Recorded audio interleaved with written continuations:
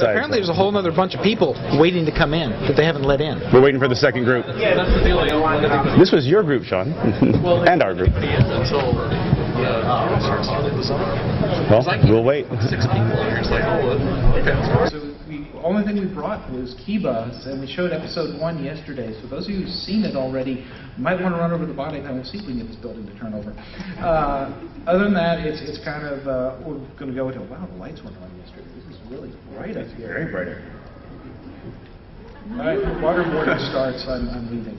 Uh, uh, okay, so I guess we're going to uh, we're going to talk a little bit, have a little Q and A, and then we're going to show episode Kiba of number one of Kiba again. Unless does the majority of them want to see episode one or two?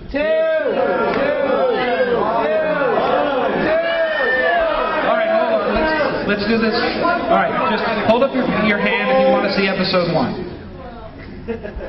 Mm. Put those hands down, and if you want to see episode two. One wins. I'm sorry, those of you. We don't have time. We tried running them both yesterday, and they cut us off because these these panels are not really an hour. They're they're what uh, 42 and one third minute is what, what what time we're given or something like that. And we just ate up 10 minutes of it watching people funnel into the room. Uh, so anyway, hi, I'm Matt Greenfield. I'm the co-founder uh, of ADV Vision, ADV Films, blah blah blah. And with me is John Ledford, the other co-founder and our CEO. And Welcome. I guess John, you had some points you wanted to talk about. Yeah, well, I wanted to thank everybody for our 16th year here at Anime Expo. It's a great turnout. We could have never made it this far without you guys. We, we're sure a lot of you guys have a lot of questions about what's going on on the web and what's going on at ADV. We'll do our best to bring everybody up to speed. First of all, it's no secret that this has been a very bad year for ADV. You know, the Sojitz Arm Corporation started to end their relationship with us last year, withdrawing their embedded management and their financial support for ADV. Since then, ADV's original management team has been reorganizing the company. ADV has been actively seeking a replacement solution for the loss of Sojitz. We're happy to announce that as of this month, we have found such a replacement.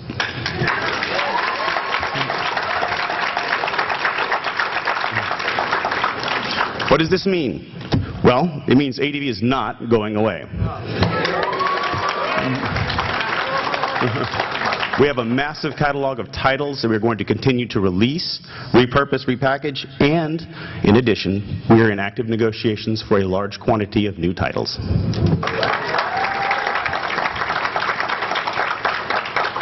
We hope to have some bigger and better announcements at Otakon, but you can expect great things from Matt and I in the future, and we want to thank you again for your continued support, for without that, we would be nothing.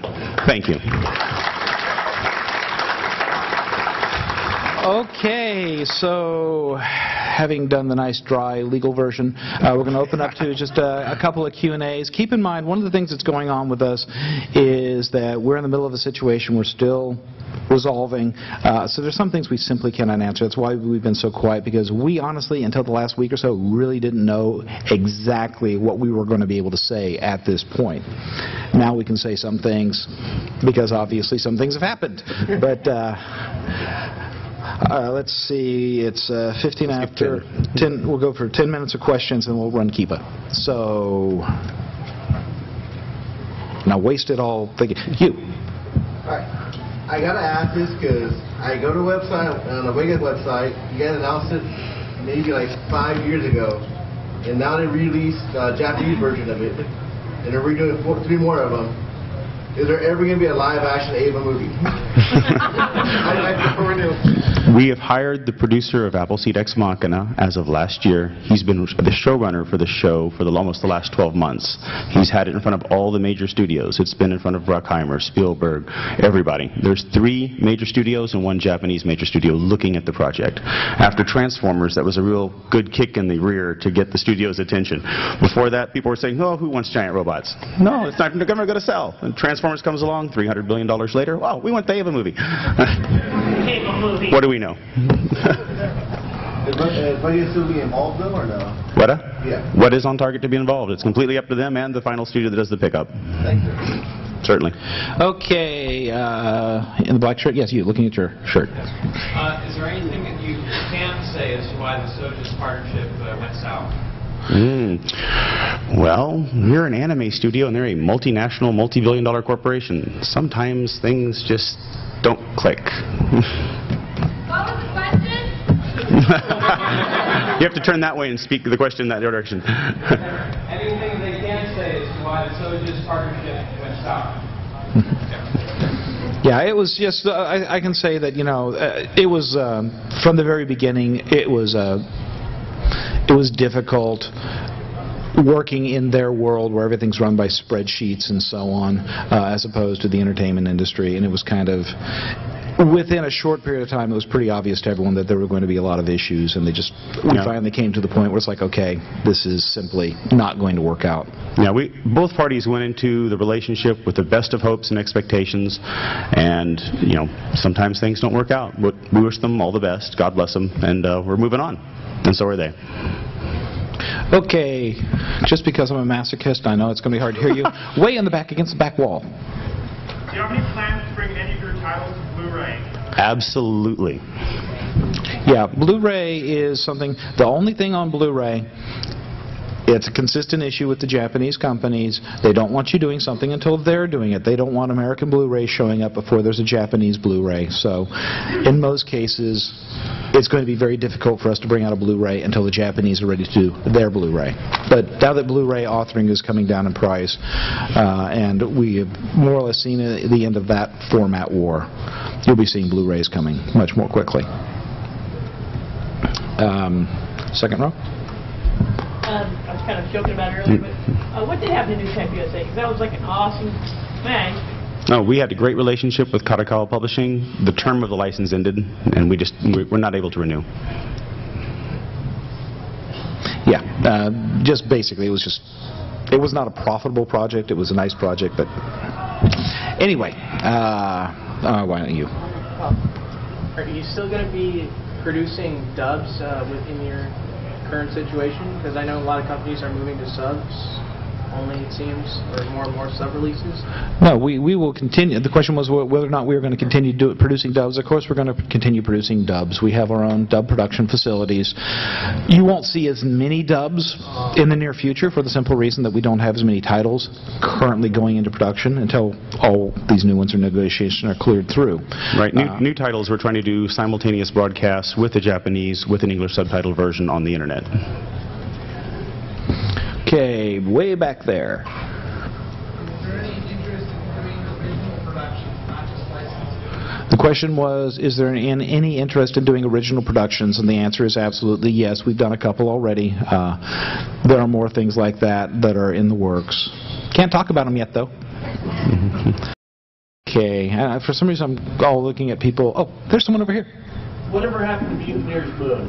Mutineer's Moon is still in the works, and that's about the best I can say.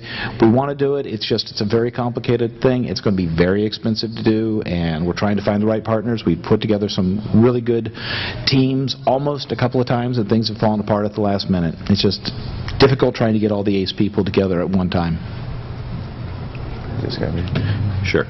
Can ADV say anything about their, who their new partner is? No, not at this time, but probably by Otakon you'll find out. We're, we're waiting for the blood to dry. uh, okay, gentleman back here in the tie. Is is that not a tie that you're wearing? You, you. Is that? Um, how's this new partnership going to affect your model line? Hmm. Good question. We'd like to finish up all the manga we've already started, but probably in the short term for new manga releases, we won't be going after new acquisitions anytime in the next 12 months. But we would like to continue the series we have already started. Okay, I'm trying to trying to do this. There's never anyone on that side. What the heck is going on here? Everyone's right here. Uh, just feel okay. Back here uh, looks like a white shirt. Yes, you looking down. In the morning, this morning on Anime News Network heard about you losing getting most of your titles in the last two years to Funimation. Is there any truth to that? No, we didn't lose them. They went with Sojitz, and Sojitz just wanted to give them to whoever had money right now. So And what does that mean for titles that are individually like Candy or NHK? we're working very closely with Funimation to make sure that the fans' needs are met and the titles will have continuity. Okay, gentleman right here. Okay. Um, for the past, I don't know if it changed in the past week, but um, for the past three or four months, when trying to navigate past the homepage on your website, there's uh, nothing sensible has shown up. So, is there some kind of back end thing? I'm not sure exactly what you're. Nothing sensible, so it's like, oh, penny, Is it penny, like pony. Lithuanian or? It, it, has, it has a top banner, but you can't go to any of the show pages. It shows an error message, contact, um, you know, administrator. That is called a hacked website. Yeah, part. Uh, well, I think I think I know. Uh, yeah, there are some some titles that are locked off uh, that were locked off when the whole situation with Sojitz began because we weren't sure of their status, and some of them. I'm not sure how far it extends though.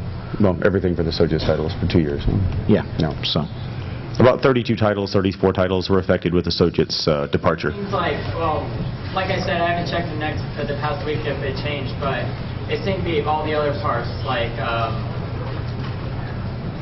uh, like the the press release section. You know that you couldn't get to that. So. I'll check when we leave the panel. Thanks. Thanks. Okay, back there. No, behind you. Now looking backwards. Yes, you. Five. Got five minutes left. Um, how are the U.S. uh, voice actors affected, and are they impacted this work or changing? Well, yeah, I mean, obviously, uh, work is shifting around. It's it's affecting them. Um, the thing about voice actors, keep in mind, voice actors not employees of ADV or any other company. They're independent contractors. Their jobs come and go depending on a show. If there's a 26-episode show, they work for exactly as many episodes as their character is in those 26 episodes, and then it's on to the next project. That's how an actor works. So, obviously, if there's a title that's that's not being done anymore, they're not working on it anymore, but that's how it goes normally anyway, so it's kind of par for the course. Okay, you in back here? When you say you're manually all the manga, then, uh, does that include the issues you only did one volume of? Okay, uh, the question was when we said we, We'll continue the manga you started? I don't think we actually said we, I said we'd like to. Uh, Yeah. uh, and, and the reason for that is that there are some cases where there are there are licensing issues uh, where they may or may not. We're not sure on it. The people who run the manga are not here. Okay, we got about room for like three more questions. In the back here. Yes, uh, according to your uh, impact releases, uh, some of them have been reissued, like uh, Full Metal Panic, Mabarado. Uh, Is there any reason why you're reshipping them, uh, or is it just the difference in the cover, or something different? Because if you change the cover, they sell. It's weird. It's really weird. You change. The thing is, you know, so many people bought the series and they stopped. Okay, they they- they've slowed down. Sales are slower. You change the cover. People who didn't look at it before look at it again. It works. Don't ask. You know, uh, it's just you keep changing the cover and it keeps changing and selling and I'm selling. it, it works. yeah. Who are we to fault it? No. You want to pull somebody? Yes, sir. Um, When the Nadia Tim first came out in November, there were some, shall we say, issues with it getting out to all the stores, and now it's just starting to come back, but it still looks like a limited release. Are there plans to keep Nadia in circulation on DVD? Absolutely. Got time for like one more question. One more question. Do do do do. Gentleman right here. Uh, you said there's three studios looking into the Diva movie. Uh, can you tell us which ones you Mm-hmm. We can't discuss them, they're under NDA. Okay, and I think that's pretty much what we're going to have time for. Uh, you guys awake back there? Hello? Hello? All right, we're going to run, uh, like I said, this is episode one of Kiba. Uh, those of you who saw it yesterday, sorry. it's we, we thought we were doing one panel, and it, they, it gave us a panel that we weren't aware of yesterday. So, Everybody leaving, thank you very much. Take care.